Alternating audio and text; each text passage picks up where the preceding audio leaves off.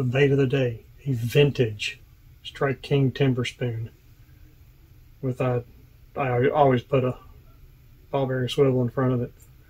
But uh, man, they just don't make these anymore. I mean, if you want a really good spoon to go through heavy, heavy brush, this is a great spoon to do that with. It's a shame they're not made anymore, especially with the with the metal weed guard. Of course, I've replaced the skirt on that.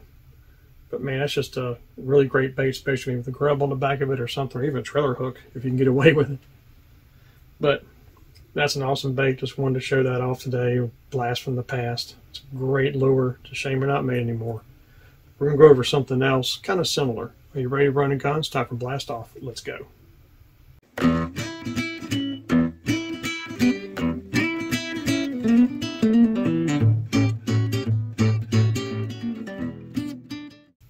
Hey guys, Ty here with you. Welcome back to Bassin 101. Another episode in Simplify Your Fishing. I know it's been a while since I've done one of these. But I've been doing my own research for myself and trying to figure out what I'm what I want to do as far as simplifying everything. I'm sure a lot of you guys have too. So here's a here's a question for you. Um, okay, so you know your style of fishing, right? But does it limit what you can throw? If it does, that's okay. You know, not everybody throws the same lures, and definitely not everybody throws the same lures the same way. I mean, the way I fish a worm is not the way you fish a worm, is not the way you fish a topwater, whatever. Everybody's different.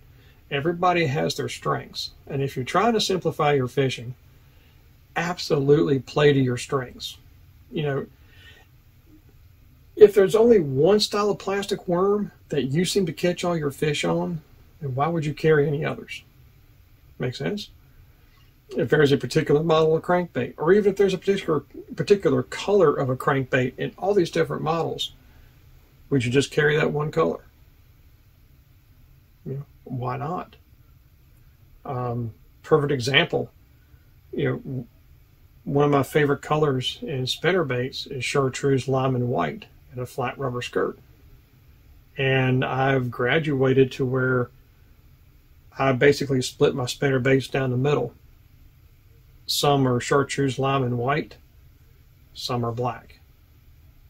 And that's it. I just vary the spinner baits by wire diameter, blade combinations, all that kind of stuff. That's how I separate my spinner baits. I really don't worry about color so much. I, I go for more what the vibration is, how I want the bait to run. Um, you know, plastic worms, I think I've, I've pretty much narrowed it down to one type of worm, which I'll go over down the road because that one type of worm offers me so many different variations of riggings. And I'll give you a hint, especially for a couple of you guys out there. It's not a Senko. so I know you're better than that, man. Everybody throws one. I'll give you that. But it's a great bait. What do you expect? But I, I think I've narrowed down to one worm. I've narrowed it down to uh, a couple of different particular crankbaits, and just kind of getting everything really narrowed down to where, believe it or not, it's just a handful of different kinds of baits. And you know, is that limiting what I can do? Well, absolutely it is. But if I'm playing to my strengths and what I have the most confidence in, why not just go ahead and just throw those from now on? You know, it doesn't mean I'm not going to keep the other stuff around.